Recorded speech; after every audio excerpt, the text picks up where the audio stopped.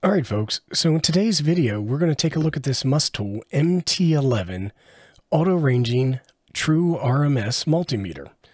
Let's go ahead and get into it. All right, so here is the meter in its original packaging. And before we get too far down the road, I did want to say that I was contacted by Banggood and they asked if I would do a review of this meter. So they sent it to me free of charge in exchange for this video review. The packaging shows the product, but one of the things I'll mention is, is that there are two different versions, an MT10 and an MT11. My understanding is the difference is the 10 has uh, alkaline batteries or rechargeable batteries that can be used. The MT11 has an internal lithium ion battery that can be recharged.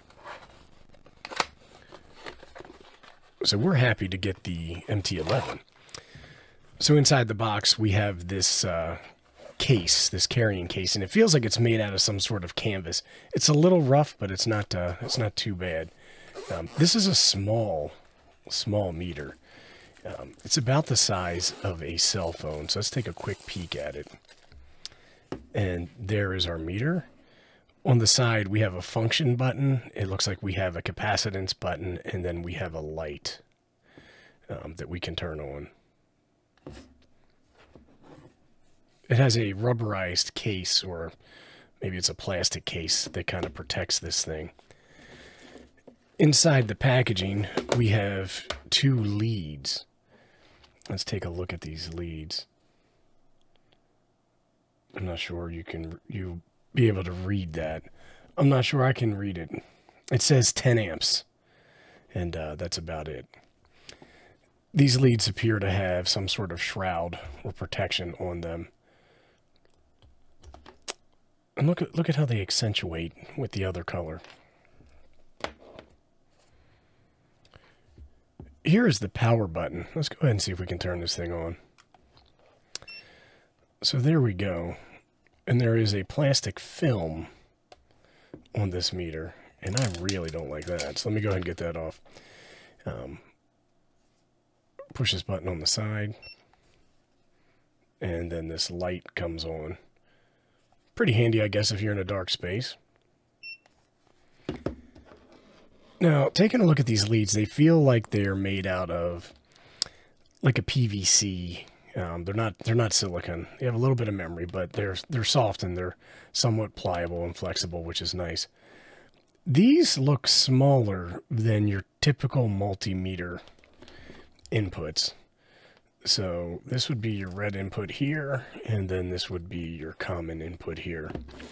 Let's see what else we have. We have a USB-C, well, awesome for that, uh, cable. And this is for charging this device.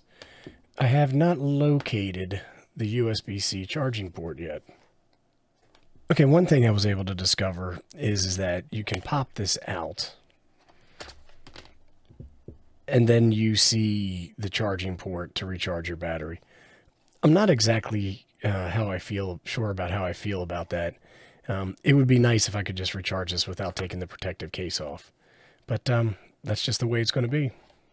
Instruction manual looks to, uh, to, be reasonably well written, but we'll take a look at this uh, with a fine tooth comb. All right, let's take a look at the website. Okay, here is the Banggood website, which will be linked below, along with some discount and coupon codes that you can use if you choose to buy this particular meter. Uh, here you can see it's $30.99. Shipping to Nebraska is $3.31. And there's a couple of different pictures that uh, you can come here and you can check out. What I wanted to do is I wanted to go down and take a look at some of the specification. It's a 3.5 inch screen. It can measure DC voltage from 0.8 volts to 620. It has a plus 5% and three digit resolution, which is pretty par for the course, pretty industry standard. AC voltage from 2.2 volts to 620, resistance 1 ohm to 1 mega ohm. Um, you can measure capacitance. You can measure uh, frequency in the form of hertz up to 1 kilohertz. Uh, if you come down here to your resolution for that, can measure duty cycle diode identification uh, for less diodes less than three volts. We're going to go ahead and we're going to test that. It has a voltage, um, non-contact voltage detection uh, where it will beep an alarm. It has a live check where you can use a probe uh, to check to see if something has volt live voltage on it. It's powered off of an 800 uh, milliamp hour lithium ion rechargeable battery, which is nice.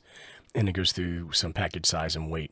One thing I did want to point out here, and it's the main reason we're going through the specification, is that this does not measure current. So you cannot measure amps.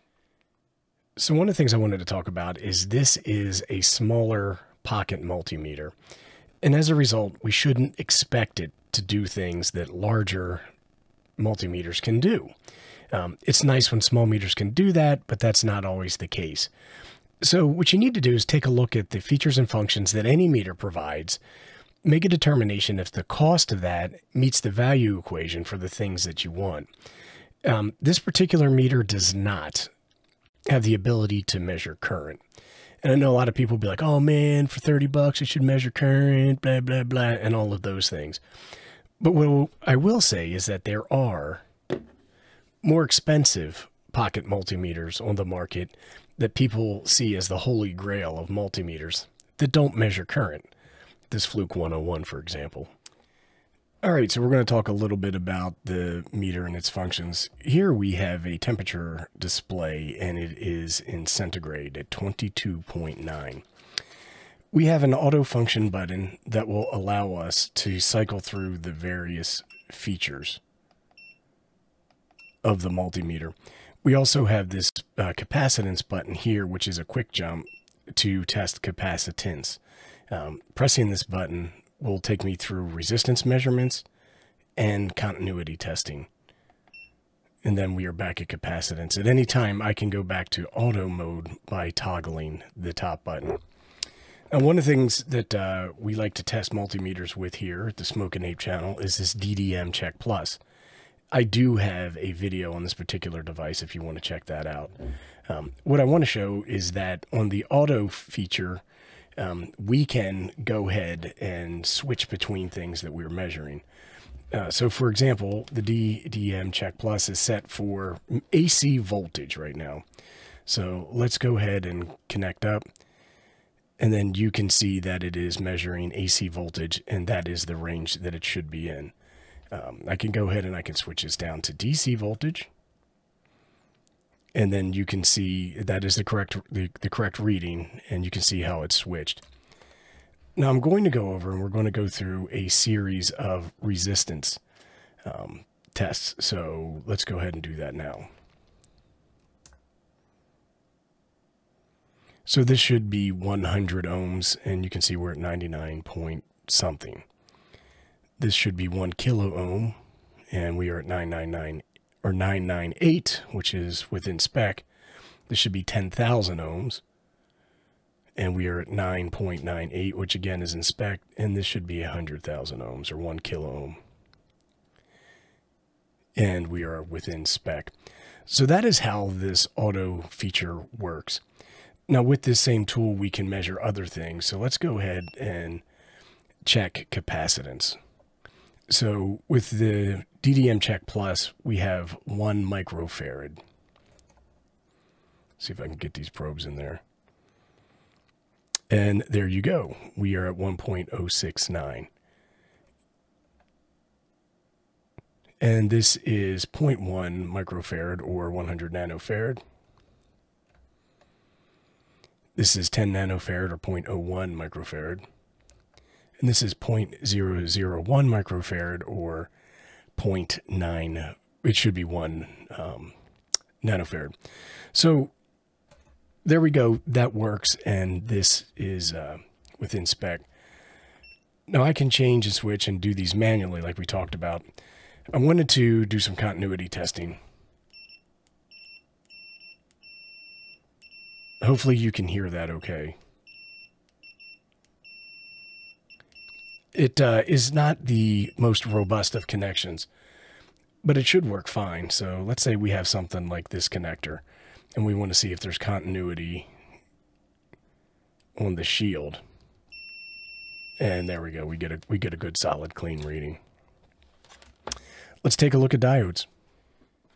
Okay, real quick, we're going to do a diode test here. We're just going to test to see if it has enough uh, enough power to do a forward voltage check on these different diodes, these light emitting diodes.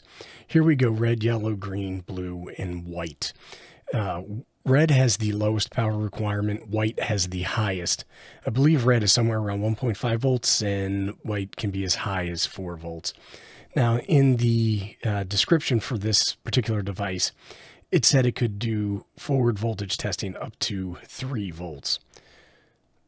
And you can see that that red light is coming on.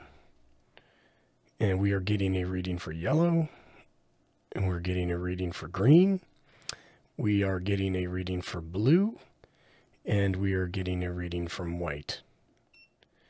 As we cycle through the modes, there is a non-contact voltage. It looks like NCU, but that's supposed to be an NCV.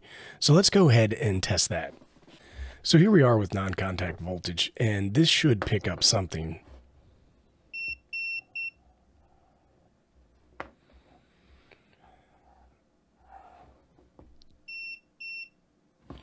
So this is not the most sensitive for non-contact voltage.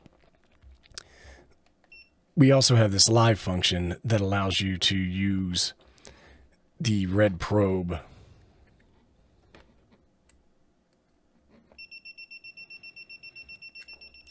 And uh, there we go. So we also have the ability to measure duty cycle and frequency. And we are going to again use the DMM Check Plus, which is outputting an AC signal right now. So let's go ahead and connect up and see what we get. And it is a 50% duty cycle at 100 hertz. That is the correct reading.